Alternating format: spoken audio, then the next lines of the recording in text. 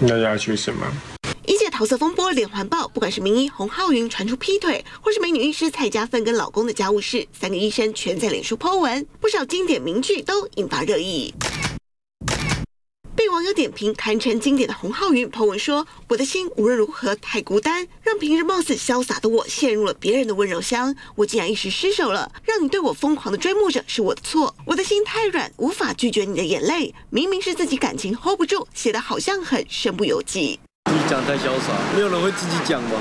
发霉的文章。”而美女医师蔡家芬也爆出婚外情，她在脸书 po 文四千多次回击，先说老公是如此的俊俏挺拔，散发迷人智慧，为她倾倒痴迷，也为情窦初开的孤独灵魂找到了停泊的港湾。接着又述说两人情变，心重重坠入地面，成了粉碎的玻璃。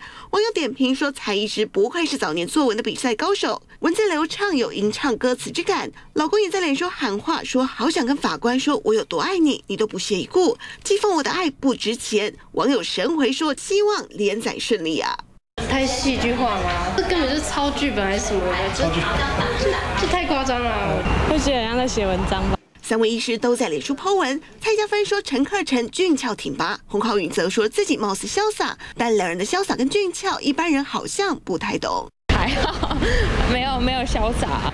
他形容他潇洒的定义，但他是有一点太过自信。一届桃色风波连环爆，当事人忙着在脸书自清，精准洗脸的用字遣词，也让人见识到高学历的医生，就算感情事闹上台面，文笔之生动，实在让人叹为观止。就让乔妹如高雄报道。中天电视全新制作强档大戏《美好年代》。